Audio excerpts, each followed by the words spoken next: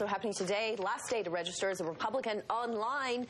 After that, you can register in person at your nearest caucus location on the day of that very caucus, which is one week from today, March 22nd. Website you need to visit if you're looking to register is on your screen, vote.utah.gov. We do have a big day here in the state of Utah. Instead of just the Doug Wright wrap, we've gone the next step here. We've got uh, the scoop this morning from Doug Wright, as well as the Utah Democratic Party Chair Peter Corroon and Utah Republican Party Chair James Evans joining us with some important things coming up. I guess, James, maybe important to start here uh, with the Republicans and talk a little bit about this debate issue that we have next Monday night. Will there be a debate? Will Donald Trump be here?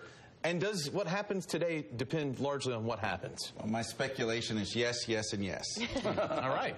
So succinct. Uh, also, too, want to mention uh, we were talking a little bit earlier with Haley about um, Trump hasn't necessarily made a, a, scheduled campaign stop here, but you're saying you're hearing otherwise.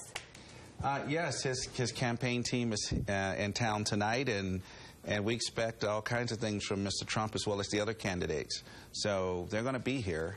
Yeah, yeah. I don't. I enjoy the speculation, but you know, we'll, we'll have a debate, and we think that all the surviving candidates will be there Monday night. Okay. All right, let's talk about the caucus because uh, very different this year from last because, of course, last year we had a primary. What do voters need to know?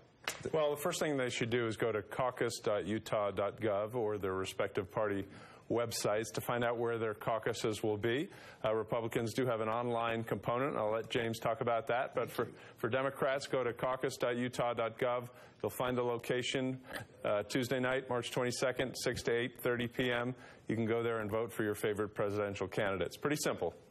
And for the Republican Party, our caucus starts at 7 p.m. So ours is 7 to 9. And uh, most importantly, this time around, you can vote online if you're not able to make your caucus, or you can cast an absentee ballot as well. So those are two additional options you have for the Republican caucus. But we encourage everyone who can to attend in person so that you can also vote for your delegates as well as precinct officers. But this time around, online voting. So you need to register by today. Uh, we may have to slip that date because we're having so much demand for online voting, but I would encourage you to get it done by today.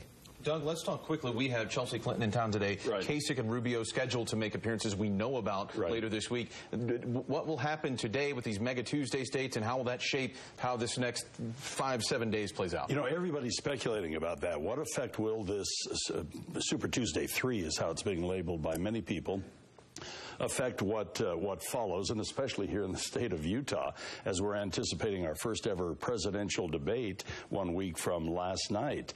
Uh, there are many people that are speculating that Marco Rubio may be out tomorrow if he does not, if he loses his home state, and that's a winner take all in Florida, and if he does not fare well in some of the other states, it's going to be really, really tough for Mr. Rubio. Now, he has schedules, you know, here in the state of Utah, but we've seen this happen before. Everybody goes in, nobody's going to say, well, it's going to be tough, and we'll see if I'm standing on Wednesday. Everybody goes in with that optimism, but we've seen a lot of people stand up on Wednesday and say, we're suspending the campaign. Yeah.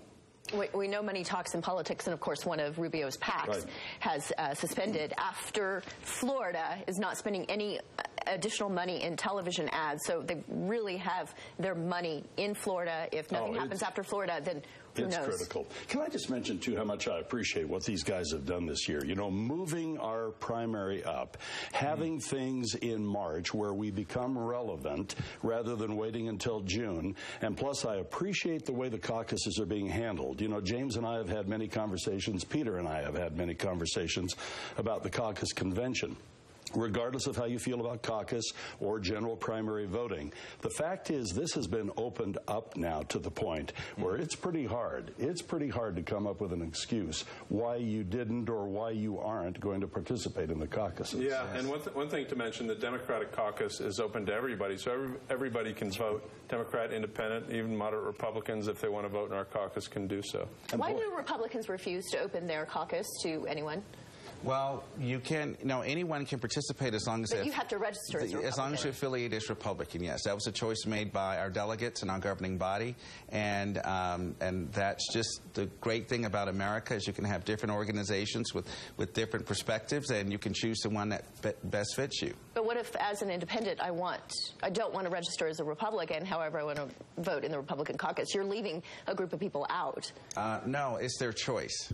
We've established what we what our requirements are, and it's up to you to decide whether you want to participate or not. If it's that important to you to cast your vote for a Republican nominee, then you would affiliate as a Republican and cast your vote. And if you don't want to do that, there are other political parties where you can participate. Of course, you can affiliate as a Republican and then disaffiliate. That's your that's your right. Yes. All right. Yes. Gentlemen, We thank you welcome so all. much.